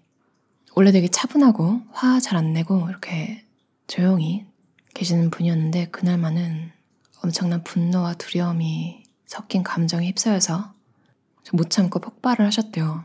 입학 직전에 등록금 전부 환불하고 재수하기로 결심하고 정말 그날이 이분에게 정말 중요한 분기점 같은 게 된 거죠. 공부는 어렸을 때 뭐 정말 좋아서 스스로 한 경우도 있겠지만 사실은 좀 시켜서 하는 경우가 많고 원래 해야 하는 거니까 뭐 이런 생각으로 할 때가 많잖아요. 참 이 책에서 얘기를 했듯이 인간이 참 자기가 고른 일, 자기가 선택한 일에 더 애정이 생기는 것 같아요. 더 열심히 하게 되고. 그래서 원하는 걸 얻을 때 뭐 심리학 테크닉 이런 거에서 질문할 때 딱 두세 개를 이제 상대방한테 선택지를 주는데 그 두세 개 다 내가 다 괜찮은 거면 나는 상대방이 뭘 고르든 괜찮고 상대방도 스스로 선택했다는 느낌 때문에 협족해줄 수 있는 거죠. 이런 작은 것만 봐도 스스로 선택했다는 느낌이 얼마나 중요한지, 좀 인간이 얼마나 자유롭고 싶어 하는지, 그러니까 개개인의 삶의 의미를 되게 찾고 싶어 하는 존재잖아요.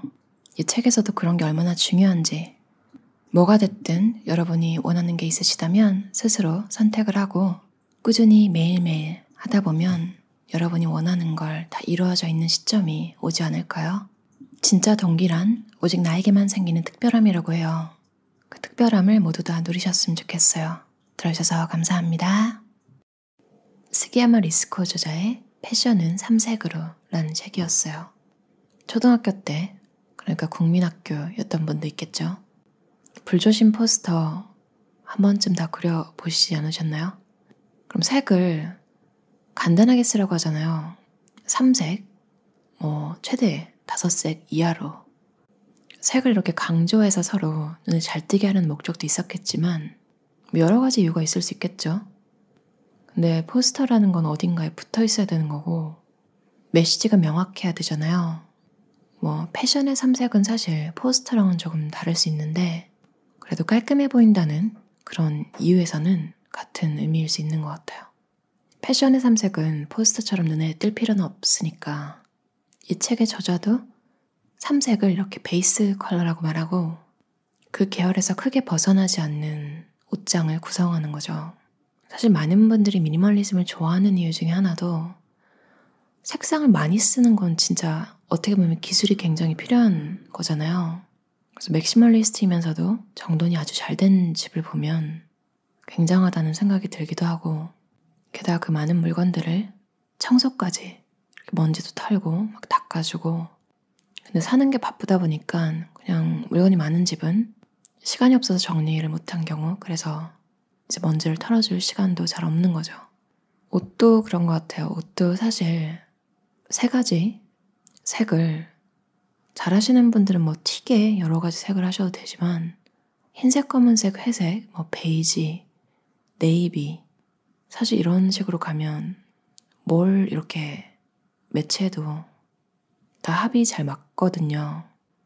제가 어렸을 때 이렇게 돈을 모아가지고 컨버스에 운동화를 사러 간 적이 있는데 어떤 이렇게 숍 스태프가 저한테 핫핑크 색상의 컨버스를 추천해 준 거예요.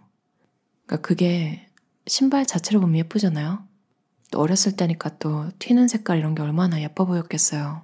그러니까 어릴 때니까 또 돈도 많이 없었어서 쇼핑을 잘 안 해봤고 그러니까 숍 스태프 분들이 또 전문가잖아요. 그래서 자꾸 추천을 하니까 혹한 거죠. 신발은 좀 튀어야 돼요. 그걸 사고 몇 년간 그 말이 머릿속에 떠돌았어요. 왜냐면 그걸 신을 때마다 창피해서. 그러니까 막 돈이 많고 쇼핑을 자주 하고 이런 성격이면 뭐 하나 잘못 산 거잖아요. 기회비용이 되게 없는 상황에서 추천해주는 걸 사고 나서 되게 후회를 했던 거죠. 성격마다 다른 거잖아요. 저의 경우는 신발은 안 튈수록 좋다. 이게 저한테 맞더라고요. 지금은 신발이 딱 세 켤레가 있는데, 워커 하나, 운동화 하나, 그리고 flip flops, 쪼리 하나 이렇게 있는데, 사실 편하게 신을 단화가 하나 필요하다는 생각은 들거든요. 근데 없어도 살아져서 아직 안 샀는데 지금 제가 가지고 있는 신발 중에서 튀는 색깔은 하나도 없어요. 그래서 사실 무슨 옷을 입어도 다 무난하게 잘 어울리고 그래서 그냥 용도에 맞게 신으면 되는데 저자가 추천하는 베이스 컬러들이 몇 개 있거든요. 검은색, 흰색, 네이비 블루, gray, 베이지 색상, 그리고 회갈색, 그리고 카키 색깔. 다 무난하죠. 흰색 계열은 꼭 필요하기 때문에 넣으라고 해요. 근데 이제 사람마다 좀 톤이 다르잖아요. 어울리는. 새하얀 색, 아니면 살짝 노란빛이 도는 색, 이런 것 중에 골라서 다음으로는 검은색이랑 네이비 색깔, 둘 중에 하나가 더 잘 어울리는 편이잖아요. 근데 양쪽 다 잘 어울리는 분은 두 개 다 해도 된대요. 그리고 회색, 이제 베이지색, 회갈색, 그리고 카키. 요 중에서도 하나를 고르면 이제 세 가지 베이스 컬러가 완성이 된다고 해요. 제 옷들도 이 범주에서 벗어나지 않는 것 같아요. 흰색, 검은색. 예전에는 회색을 좋아했는데 어느 순간 저한테 회색이 별로 안 어울린다는 걸 깨닫고 티셔츠들이 막 달아서 해졌을 때 정리하고 새 옷을 살 때는 제 회색을 안 고르게 되더라고요. 옷의 개수는 많지 않지만 멋을 내는 여러분만의 팁이 있으신가요?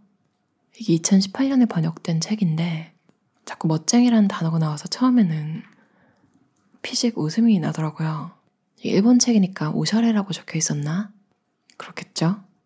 근데 자꾸 읽다 보니까 귀엽기도 하고 멋쟁이가 되고 싶다 이런 생각이 들기도 하고 여러분만의 쓰기 편한 옷장을 구축하시고 다들 멋쟁이가 되셨으면 좋겠어요. 이미 멋쟁이이신 분들은 팁을 또 공유해 주시면 다른 분들도 참고하실 수 있을 것 같아요. 들어주셔서 감사합니다. 가바사와 시온 저자의 당신은 뇌는 최적화를 원한다 라는 책이었어요. 피로회복에 필수적인 내뇌 물질이 멜라토닌이라고 하잖아요. 숙면에 도움이 되는 피곤하다고 느낄 때 많은 경우 그 전날 밤 잠을 좀 제대로 못 잤거나 늦게 잠들었을 때 그 다음날 좀 하루 종일 기운이 빠지고 그런 경험 다들 해보셨나요? 그만큼 잠이라는 게 사실 굉장히 인생에서 많은 부분에 영향을 미치는 것 같고 뭐가 좀 안 풀린다 싶을 때 항상 기운이 없고 피곤하다 싶을 때 잠만 제대로 자도 많은 부분이 해결이 되더라고요. 거기다가 이 책에서 얘기한 것처럼 약간의 낮잠, 26분의 낮잠이 업무 능력을 34% 높인다. 이것도 경험을 해보셨을 거예요. 특히 막 너무너무 피곤한 날, 이제 점심시간에 약간 눈을 붙였는데 다시 이렇게 뭔가 재충전이 확 된 것처럼 개운한 경험? 짧은 낮잠으로 회복되는 거죠. 뭐 이런 건 통계나 연구 결과를 보지 않아도 다들 경험을 해보셨을 거예요. 공부법 관련 책에도 이런 이야기는 많은데 대신 거기서도 낮잠을 자되 많이 자면 안 된다. 공부법 책에서는 주로 30분 이상 자면 이제 흐름이 너무 끊겨서 15분에서 30분 미만 추천하는데 이 책에서도 26분, 30분 정도 짧게 자는 걸 효과적이라고 해요. 60분 이상 넘어가면 알츠하이머병 발병률이 2.6% 높아진다. 이런 확률이 아니더라도 낮에 1시간을 이렇게 잠으로 날린 기분이 썩 좋지만 않으니까 30분 딱 좋은 것 같아요. 이제 수면으로 컨디션 관리를 하셨다면 정확한 목표를 세워서 비전보드 같은 거 눈에 보이는 거를 이렇게 근처에 막 붙여두시고 자주 보는 거죠. 그리고 즐겁게 실행하고 이룰 때마다 스스로에게 상을 주고 그걸 또 잃었다고 방황하지 않고 곧바로 그것보다 한 단계 높은 목표를 바로 세우는 것. 인간이 만족을 못하는 동물이라고 하잖아요. 사실 살아가는 재미라는 게 크게 없고 어제보다 나은 내가 되는 것. 어제보다 오늘 조금 뭔가 더 배우는 것. 이런 기분이 자기 긍정감을 느끼는데 굉장히 도움이 되는 것 같아요. 뒤로 가고 싶은 사람은 없잖아요. 아는 게 적어진다고 나이도 적어지는 것도 아니고, 목표를 막 무리해서 잡고 과욕을 부리라는 의미가 아니라, 물론 자기 개발적인 측면에서도 발전하는 게 중요하긴 하지만, 인간이라는 게 참 뭔가를 가지고 나면, 이루고 나면 금세 되게 당연한 듯이 생각하게 되고, 그걸 다 가지고도 가지고 싶었던 거니까 가지고도 나중 되면 이제 아 내가 가진 건 아무것도 없어 막 이러는 사람들 있잖아요. 이게 뭐 그 사람이 이상한 게 아니라 자꾸 자기가 가진 걸 당연시하게 되는 게 사람인 것 같아요. 또 그런 무력감을 느끼지 않기 위해서, 그러니까 나를 위해서 살짝씩 높인 목표 그런 걸 자꾸 가져서 그 1에서 6까지 반복을 하는 거. 내 삶의 재미를 위해서도 도움이 되는 것 같아요. 평소에 잠을 좀 늦게 자시거나 못 주무시는 분들은 오늘 전자기기도 좀 치우고 푹 주무셔보는 건 어떨까요? 내일 아마 조금 다른 컨디션으로 하루를 맞을 수 있을 것 같아요. 들어주셔서 감사합니다. 김현정 저자의 likeability라는 책이었어요. 정말 흥미롭게 읽었는데요.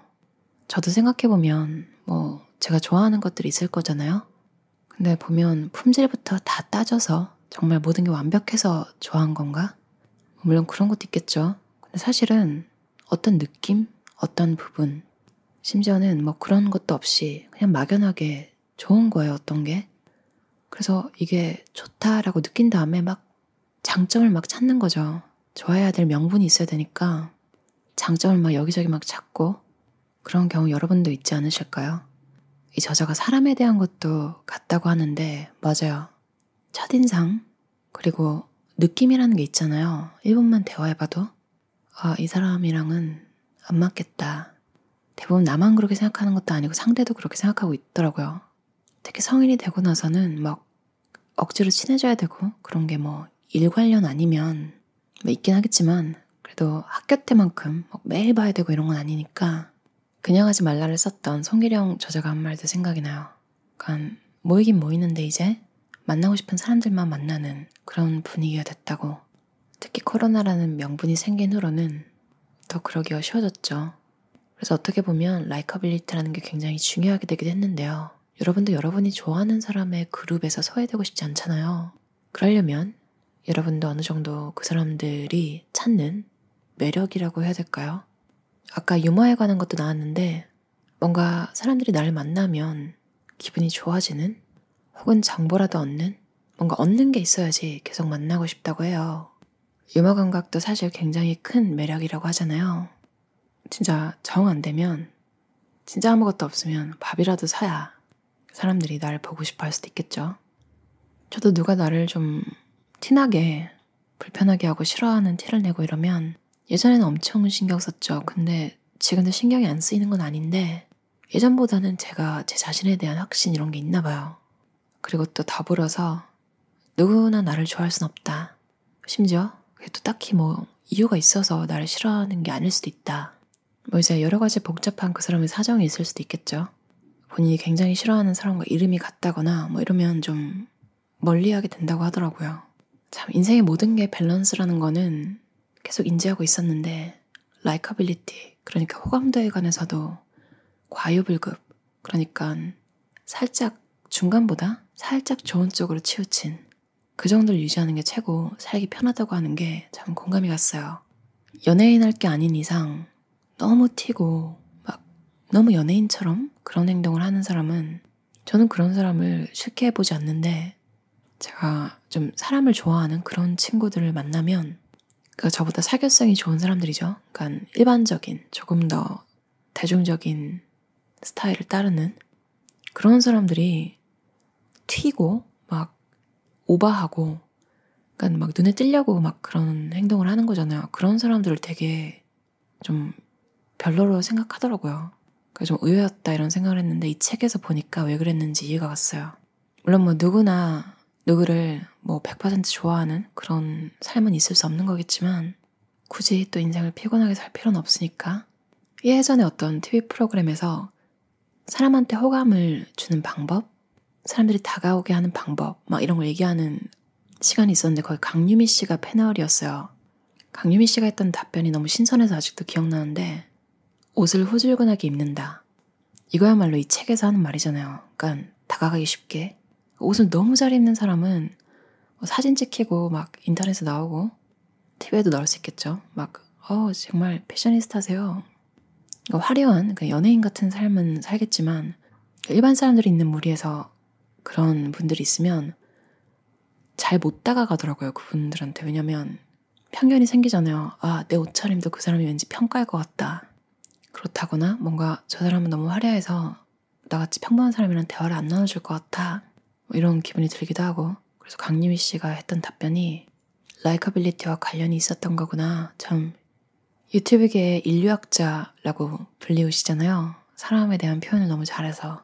그만큼 여러 가지 통찰력 이런 게 좀 뛰어나서 일반적으로 알려져 있는 것보다 사람들이 진짜 어떻게 생각하는지에 대해서 잘 꿰뚫고 있는 분이다 이런 생각이 들었어요. 보통은 옷을 잘 입으라고 하니까요. 그리고 우리는 구체적인 사실에 별 관심이 없다. 기억에 남는 건 감정이다. 맞아, 이게 진짜 경험 다들 있으실 거예요.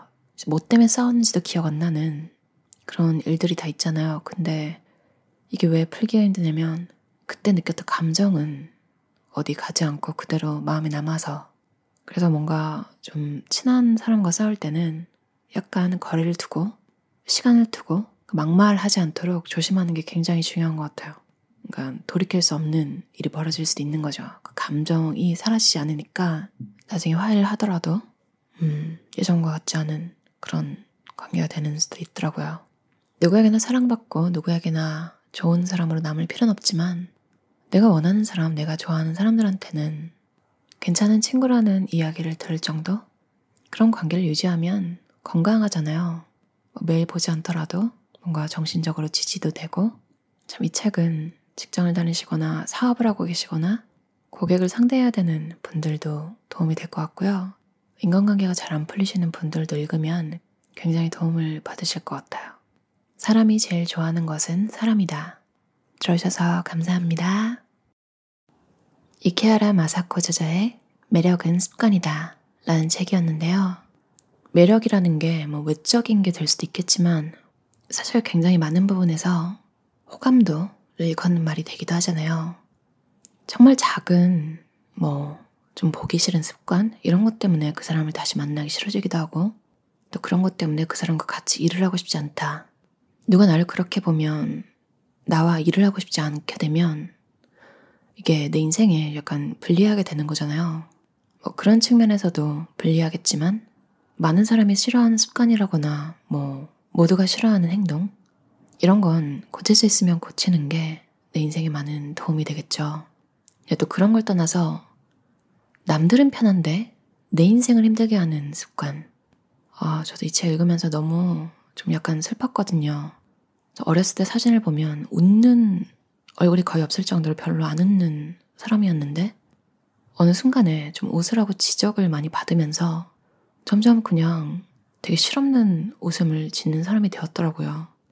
이게 깨닫고 나서도 상당히 고치기가 힘들었고, 지금도 좀 새로운 사람들을 만나면 그 사람들이 불편하지 않게 하기 위해서 좀 차라리 웃는 게 낫잖아요.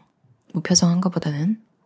그래서 서로 잘 모르는 사이에 그렇게 되면 자연스럽게 같이 웃어주는 사람이 최고겠죠. 근데 많은 부분에는 저를 그 사람들의 아래로 보더라고요. 아, 이 사람 뭔가 나한테 지금 얻을 게 있고 내가 높은 위치이기 때문에 이 사람이 지금 눈치를 보고 있는 거다. 그래서 웃고 있고 작은 일에도 사과를 한다. 이렇게 여기고 그냥 아무 근거도 없이 일단 그 사람이 스스로를 더 높게 생각하더라고요. 이 책에서도 불필요하게 사과하지 않는다. 이게 중요하다고 하잖아요. 중요한 포인트는 불필요하게겠죠. 사과는 당연히 해야 되는 거죠. 잘못했으면. 근데 불필요한 정도? 이게 뭐 회사나 그룹 분위기에 따라서 다르겠지만 뭐 친구 그룹도 다 다르잖아요. 야, 3시에 만나자 하면 다 4시에 나오는 그래서 아무 문제가 없는 그룹이 있기도 하고 3시에 만나자고 했을 때 2시 반까지 안 나오면 이게 왜 이렇게 늦어? 라고 생각하는 그룹이 있을 수도 있으니까 내가 속한 공동체의 분위기를 잘 읽는 것도 중요한 것 같아요. 넷플릭스에 Partner Track이라는 시리즈가 있는데 잉그리드 윤이라는 한국계 미국인으로 보이는 변호사가 주인공인데 오프닝 장면에서 이렇게 친구랑 전화를 하면서 들어가요. 친구가 어디냐고 하자마자 잉그리드 윤이 어 미안해 라고 바로 사과를 하는 거죠. 지금 다 왔다고. 그래서 이 사람이 지각을 했나? 이런 생각을 했는데 그게 아니라 살짝 지각을 했을 수도 있지만 그냥 분위기상을 보면 친구가 딱 뭐라고 해요. 약간 이런 느낌으로 또또 사과한다. 또 최고의 엘리트임에도 좀 여성들이 그런 게 있는 것 같아요. 그러니까 사과하고 양보하고 이렇게 좀 배우면서 자랐잖아요. 반면에 좀 남자 직원들 다 그런 건 아니지만 여러분도 느껴보셨을 거예요. 되게 작은 일에 별로 사과를 안 하고 공이 돌아가지 않는 일에 좀 가담을 안 하더라고요. 그러니까 뭐 단체로 뭔가를 치워야 하거나 그럴 때뭐 상사가 잘 모르는 상황이라거나 성과에 반영이 되지 않는 일에는 참여를 안 하는 거예요. 다시 말하지만 다 그런 건 아니죠.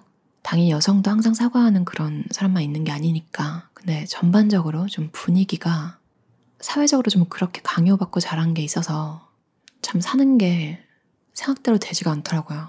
여러분들 뭐 물건을 사러 가거나 할 때 캐시어분들이 힘들 것 같으니까 그러니까 친절하게 하려고 웃으면서 밝고 여러분이 더 막 친절하게 할 때 있잖아요.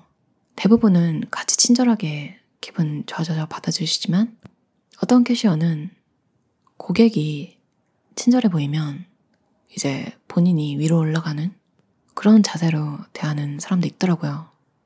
이 사람은 complain을 할 것 같지 않으니까 저도 참 어떻게 해야 될지 몰라서 되게 고민을 많이 했는데 왜냐면 친절하라고 자꾸 이렇게 뭔가 누가 쫓아와서 막 욕하는 건 아니지만 그렇게 배워왔기 때문에 근데 그냥 적당히 내가 편한 만큼만 하면 되는 것 같다는 생각을 했어요.